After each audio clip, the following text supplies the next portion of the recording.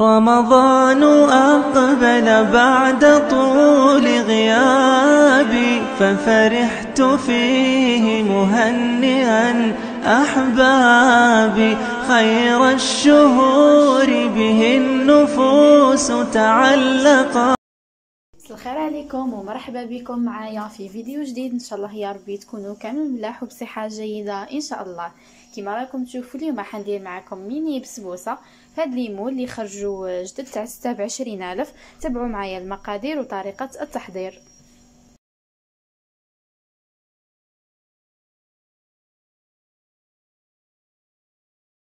bon أول حاجة رايحين نبداو بالشربات.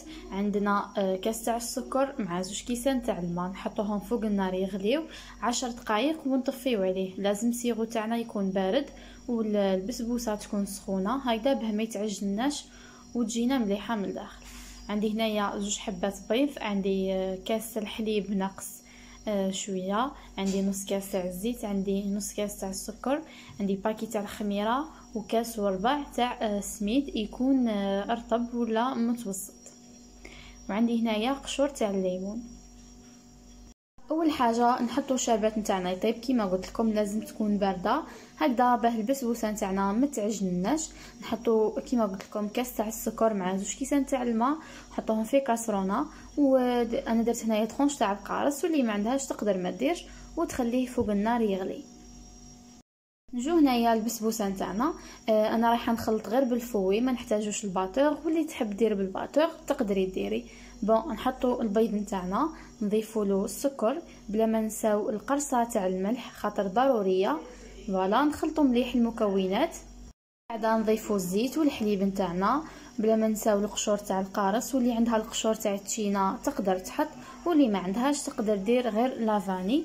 ونحطو la levure نتاعنا والسميد. نحطو كامل هاد المكونات بال fouet ومن بعد نجيبو les moules تاعنا ندهنوهم بالزيت ونرشوهم بالفارينه ونفرغو الخليط. les moules هادوك ما تعمروهمش بزاف غير نصفوهم برك puisque la levure تاعنا حطينا paquet donc راح يطلعوا كي يطيبوا معايا طريقة التحضير.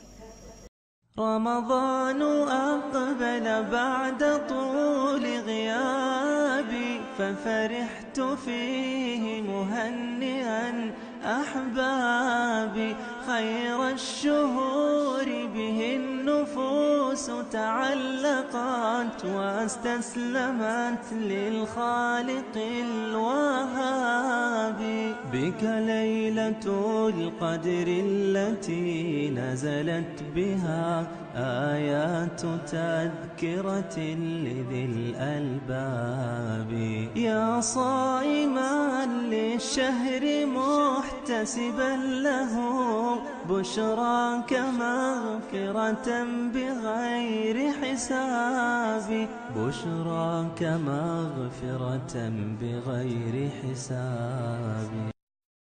رمضان أقبل بعد طول غيابي ففرحت فيه مهنئا أحبابي خير الشهور به النفوس تعالى.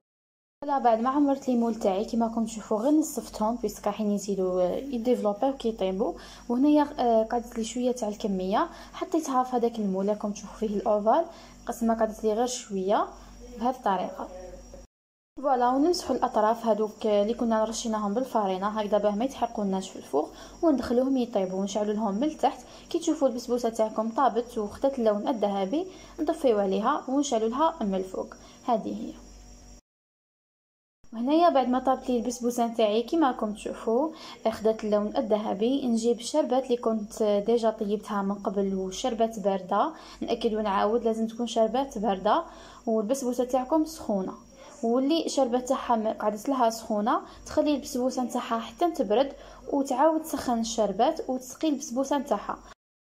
للتزيين هنا التزيين يبقى اختياري. أنا هنايا كنت زينتها ب la chantilly ودرت لها les fraises من الفوق. قلت لكم التزيين يبقى اختياري تقدري ديري la noix de coco تقدري تخليها هكذا simple donc كل وحدة والذوق تاعها voilà هذه هي الوصفة تاع نهار اليوم. إن شاء الله يا ربي تكون نالت إعجابكم. واللي مازال ما دارتليش abonné تشترك في القناة. واللي آه، مشتركة نقول لها ديري لي تعليق وديري لي جيم لا فيديو إلى عجبك. إلى فيديو آخر مع وصفة جديدة. دمتم في رعاية الله وحفظه ومع السلامة. رمضان أقبل بعد طول غيابي ففرحت فيه مهنئا أحمد